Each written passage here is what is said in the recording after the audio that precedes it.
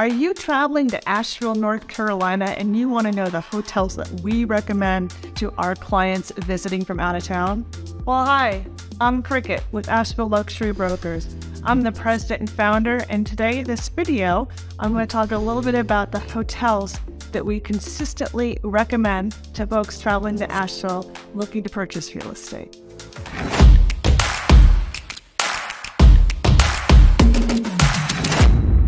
So we're going to explore some hotels today. The first hotel is the Aloft, which is a Marriott brand hotel. Pets are okay. Uh, they've got a nice uh, breakfast service, and there's a great balcony adjacent to the lounge. A great place to have a cup of coffee, glass of wine, just wind down. It overlooks Biltmore Avenue, so you're right in the hub of everything. There is a parking garage, outdoor pool, and fitness center. The second hotel is the Kimpton Hotel Arras. It is uh, the former BB&T building, a big skyscraper in Asheville. They took it over, turned it into the hotel, and it is just uh, really popular with our clientele. They have a restaurant there called Bargello. I've never been able to get in. I need, I need a reservation. I'm pretty sure they keep it open for the uh, guests of the hotel. They also have a bar area, lounge area called uh, District 42 and they offer small plates. Uh, beautiful hotel. They do have valet service for car parking. The third hotel is another Marriott. It is the Marriott AC. They have a fabulous rooftop uh, lounge area serving tapas. Just beautiful scenery to be seen. It's a, a fun place to meet, and they, they do have a parking garage. The uh, fourth hotel, I know I said we are going to do three, but I just couldn't stop. The Foundry is a Hilton uh, Curio hotel, meaning it's one of the smaller hotels. It is really, it's just a cool location. Dogs are okay. I think there is a deposit fee with that.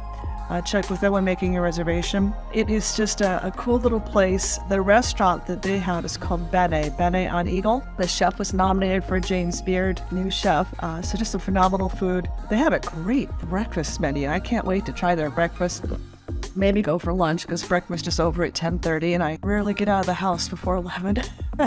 so that was the Foundry, a Hilton hotel. And then the last hotel on our list is just Cat Daddy. It is the Omni Grove Park Inn, built historic hotel. I believe it was built in the um, early 1900s. Uh, it is just a spectacular architecture construction in the hotel. They have several restaurants, the Sunset Terrace is amazing. I had the Lobster Caesar, and it was phenomenal. And the Sunset Terrace does overlook the golf course of the Grove Park Inn and on up to the mountains. It's simply a glorious hotel. And there's a spa. it is amazing, absolutely amazing.